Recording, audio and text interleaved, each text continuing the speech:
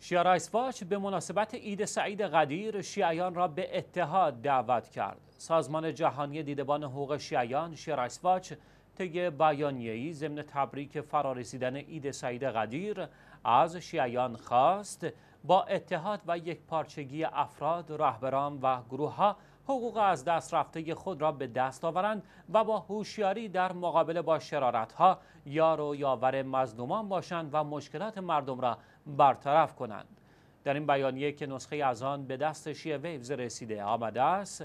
وظیفه همه رهروان اهل بیت علیهم السلام تفکر و تدبر در امور خاص و عام است. خصوصا امور متعلق به اوضاع ملت و جامعه خود از هر گونه قوم و نژادی چرا که مردم نیازی مبرم به اتحاد دارند. شیرایس باچ با اشاره به واقعی قدیر خم افزود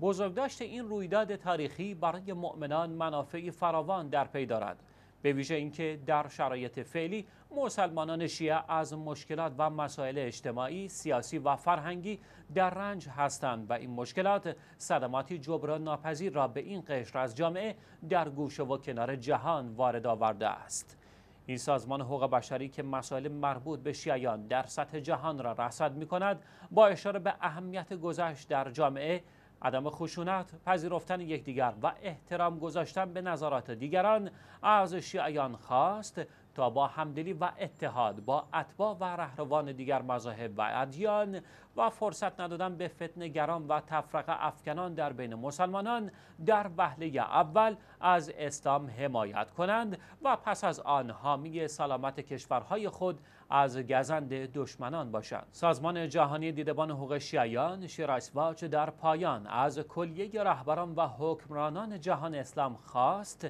تا این مناسبت را غنیمت بدانند و با آزاد کردن زندانیانی که به دلایل اختلافات عقیدتی و یا سیاسی در زندان به سر می‌برند باعث خوشحالی ملت‌های خود شوند چرا که این امر ابراز حسن نیتی است که پیامدهای خوبی را به دنبال خواهد داشت.